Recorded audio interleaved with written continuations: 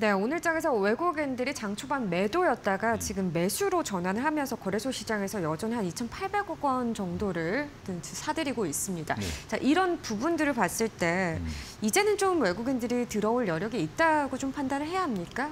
일단 뭐- 저점을 잡았다고 볼 수 있습니까? 예. 저점은 뭐 항상 말씀드리지만 지나봐야 아는 거기 때문에 예. 사실은 뭐 어, 금요일 오늘 뭐 이틀 쪽 이틀 음. 반등이 좀 강하게 나오고 있어서 어, 기대가 있는 건 사실이지만 음. 사실은 저는 이제 조금 더 반등이 나오다가도 한번 다시 조정을 또 한번 예. 거칠 과정이 또 필요할 수도 있다. 쌍바닥을 만들 가능성이 음. 높다라고 보고 있는데 일단은 그거를 떠나서 지금 뭐 2,300은 안 깨겠다는 강한 의지를 보여줬기 때문에 예. 지금 뭐 대신증권에서도 얘기하는 거는 결국에는 여기서 20% 상승 여력이 있다라는 건한 뭐 제자리 돌리기 정도, 음. 2,650에서 2,680 정도까지는 예. 충분히 반등 가능하다라고 보고 있는 상황이고요. 그 이제 계산상으로 나오는 이제 바닥이 거의 그 가격대였기 때문에 그 정도까지 리바운딩은 충분히 가능할 걸로 보고 있는 건데 지금 이제 환율도 사실은 1,300원을 찍고 내려오면서 급격하게 또 내려오고 있고 어, 외국인들 입장에서는 좀 사기 좀 적당한 시점이다라고 보고 있는 것 같습니다. 근데 여전히 강한 매수세는 아니기 때문에 조금 더 지켜봐야 되기 때문에 어, 지금 이게 추세적으로 완전한 반등이 나온 신호는 아니, 아닌 것 같고요. 여전히 7월 초에 이제 나오는 이제 물가 지표를 어떻게 보느냐. 그때 이제 미국의 소비자 물가 지표가 어떻게 나오느냐에 관심이 아마 쏠릴 걸로 예상이 되고 있기 때문에 그 전까지는 약간 좀 변동성을 조금 뭐 고려하시고 대응을 하셔야 될 것 같습니다. 네, 여전히 변동성은 남아 있을 수 있다. 그리고 경제 지표 발표도 앞두고 있는 만큼 이런 부분들도 같이 좀 참고를 하셔야 될 것 같습니다.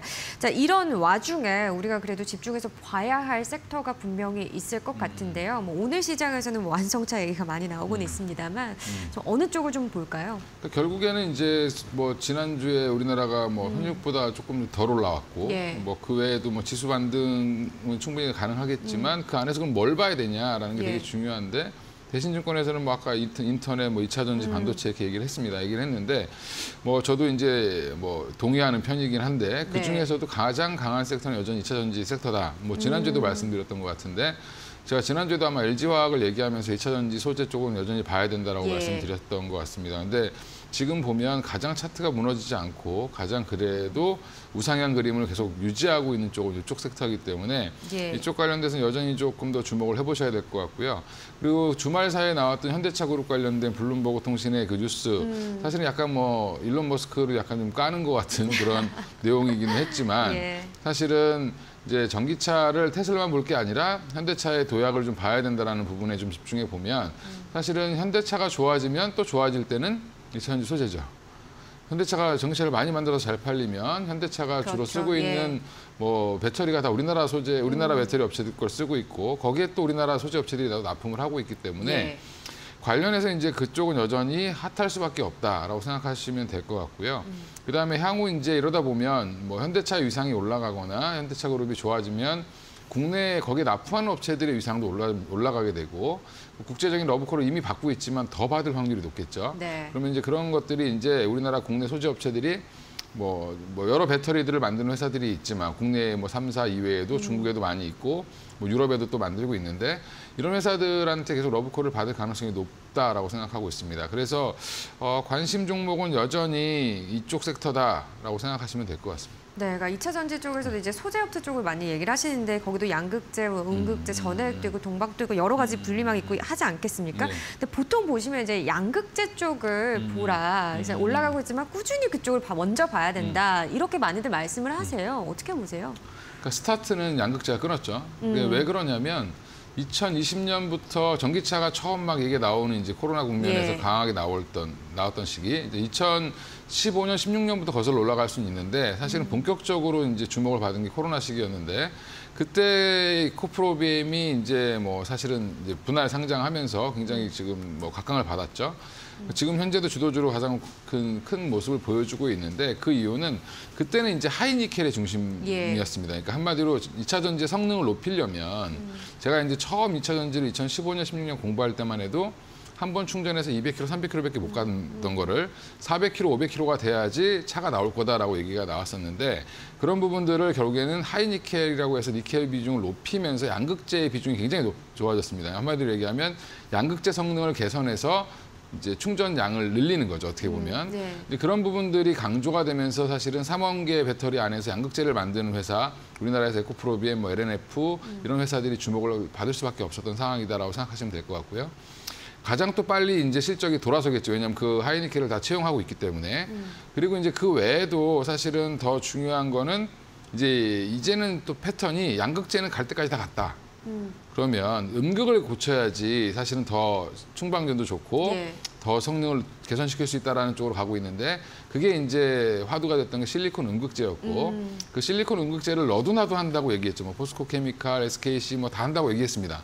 근데 이제 결국에는 아직 진행 중인데 이거를 적용한 모델이 이제 LG 에너지 솔루션에서 만들어서 이제 예. 납품했던 타이칸이라는 모델이죠. 이제 음, 음. 근데 결국에 이제 그 타이칸이라는 모델에 적용되고 나서부터 이제 이런 것들이 확대되고 있는데 예. 그 안에 이제 그 CNT 도전제라는 거에 대한 그 뭐 국내 유일한 회사가 있고 국제적으로도 거의 유일한 회사가 있습니다. 그래서 음. 그 회사에 대해서 집중을 해봐야 된다. 그래서 저는 이제 이게 뭐 말이 좀 두서가 없었지만 음. 양극재에서 음극재로 좀 바뀌고 있다 추세가. 그러면 음극재에 들어가는 음극재 개선하는 데 들어가는 회사들을 좀 주목해 보실 필요가 있다 이제는.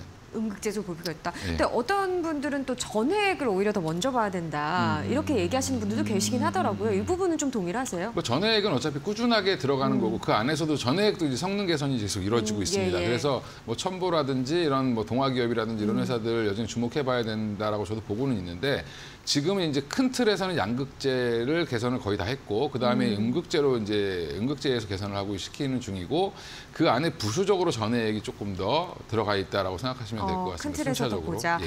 그럼 음극재 쪽이라고 한다면 좀 전체적으로 좀 상황을 음. 보면 좋을 것 같아요. 일단 그 전에 뭐 LG화학이라는 게 셀업체 음. 쪽이나 뭐 에코프로비엠이나 뭐 양극재, 음극재 이렇게 봤을 때 전체적인 전반적인 흐름은 여전히 다 전체적인 상승력을 가져가고 있다 이렇게 보시는 건가요? 지금 보면 뭐, 뭐 지금 아까 얘기했던 전해액 쪽만 조금 전해액 쪽이라든지 분리막 쪽, 뭐 첨보 이런 걸 예. 대표적으로 보시면 어, 관련해서 이제 뭐 피전해질 뭐 여러 전해질 종류가 있는데 좀 안 좋은 전해질 그러니까 기- 예전 기술로 나왔던 것들에 예. 대해서 지금 실적이 좀 안 좋아진다라는 얘기가 나오면서 최근에 좀 이렇게 하락을 했죠 이때부터 4월부터. 음. 그래서 지금 보면 그 외에 동화 기업도 사실은 그런 차원에서 보시면 좋았다가 비슷한 시기에 같이 빠졌습니다. 예. 네. 그리고 이제 분리막 관련돼서는 여전히 SKIET가 있는데 이쪽은 여전히 지금 뭐 처음에 상장했을 때 밸류에이션 논란이 아직 좀 남아 있고 실적이 생각보다 빨리 돌아서지 못하기 때문에 예. 주가가 좀 지지부진한 모습을 보이고 있고요. 동박의 가장 대표적인 회사였던 SKC라든지 뭐 일진 머티리얼즈 예, 이런 회사들 보면 여전히 기대감은 있는데 뭐 여기는 M&A 지수까지 같이 붙어 있죠. 주가가 주가는 계속 지금. 반영을 못 시키고 있습니다. 예. 그래서 그 얘기는 결국엔 뭐냐면 아직 그 이쪽은 동박 쪽은 경쟁이 좀 심화되고 있는 상황이어서 음. 조금 더 지켜봐야 된다. 그러면 요 안에서 소재 기업들 안에서도 좀 경쟁자가 없고 좀 탄탄한 기업이 어디 있을까 라고 봤을 때 제가 오늘 뽑아온 건 나노 신소재였습니다. 아, 나노 신소재 쪽이요. 예. 예. 음, 나노 신소재 결국 음극재 쪽에서 이제 뭐 대주전자 재료도 있고 MK전자도 있는데 굳이 나노 신소재인 이유는 음, 뭡니까? 음, 음. 예. 그러니까 결국엔 나노신 소재를 택한 이유는 약간 실리콘 음극재에 대한 관심이라고 보시면 될 것 같고요. 어. 그래서 실리콘 음극재라는 거는 결국 이제 예전에 음극재를 흑연으로 만들었습니다. 이제 예. 천연 흑연, 뭐 인조 흑연 흑연으로 만들다가 이 흑연에서 실리콘의 비중을 조금씩 높여가는 중이죠. 이제 5%, 10%, 15% 이렇게 높여가는 중인데 그걸 높이는 이유는 충방전할 때 더 용이하고 빨리 충전하고 빨리 그러니까 빨리 충전이 고속 충전이 가능해지고요. 예. 그다음에 용량도 더 많이 충전할 수 있고 이런 부분들 때문에 실리콘 음극재 사용을 지금 높여가고 있고요. 대부분의 이제 음극재 회사들이 실리콘 음극재를 하겠다라고 지금 발표를 하고 있는 상황인데 그 안에 이제 실리콘 음극재의 단점이 결국에는 부풀어 오르는 팽창입니다. 음. 이제 한번 충전하고 쓰고 다시 충전하고 이걸 할 때마다 약간 부- 부피가 팽창할 수 있는. 예. 근데 이 부피의 팽창을 막아주는 게 CNT 도전제고요, 음극재 들어가는. 근데 그거를 지금 공정을 상업화 공정은 공정을 완전히 끝내고 납품한 회사가 나노신 소재고 음. 사실은 그러니까 실적 대비해서 주가가 굉장히 비싼 이유는 예. 이제 올해부터 올해 하반기부터 시작해서 내년부터는 본격적으로 캐파 증설이 끝나고 나면 어, 급성장할 수 있는 쪽이다. 음. 왜냐하면 이게 참 재밌는 게 대기업이 하기엔 애매하고 중소기업이 하기에는 너무 기술이 어려운. 고도의 기술을 또 요하니까요. 네, 그렇죠. 예. 그렇다고 물량은 많이 들어가질 않기 때문에 사실은 이 이제 뭐 보면 포스코 케미칼이라든지 SKC라든지 이런 데서 CNT 도전들을 한다는 얘기는 없죠. 그러네요. 실리콘 음극재를 한다는 얘기는 있어도 예, 그렇게 보시면 사실은 나노신소재는 강소기업으로 좀 보시면 될 음. 것 같고요. 이, 그래서 이 어려운 장에서도 사실은 생각보다 조정이 크지 크게 나오지 않았습니다. 어. 예, 그래서 지금은 재매수의 영역이다라고 보시면 될 것 같고요. 음. 저는 이제 한번 뭐 제가 예전에 한번 음, 뭐 9만 원까지 목표가를 한번 제시한 적도 있었는데 10만 원 근처 갔다 부러져서 내려왔는데 저는 지금이 어, 아주 조정을 잘 받은 자리니까 한번 사보셔도 괜찮을 것 같고요.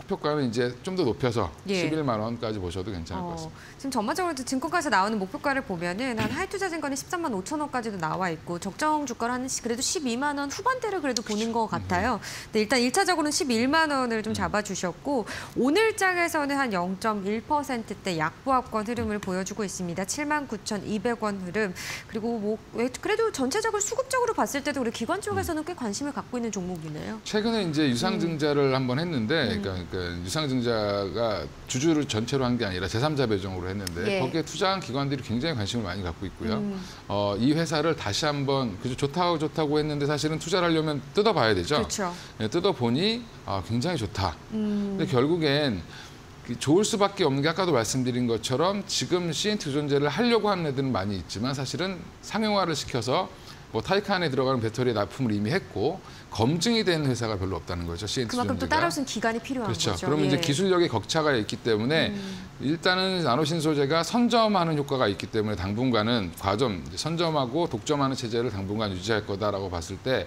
다른 동박에 비해서는 훨씬 더 투자 배력이 높다라고 생각하고 있습니다. 네, 2차 전지 음극재 쪽의 나노 신소재를 소개를 해주셨습니다. CNT 도전제 생산 기업이죠. 오늘 장에서는 보합권에서 한 약보합권으로 움직임을 좀 보여주고 있네요. 참고하시면서 전략 세워보시길 바라고요. 목표가 11만 원으로 드려보도록 하겠습니다. 오늘 말씀 고맙습니다. 예, 감사합니다.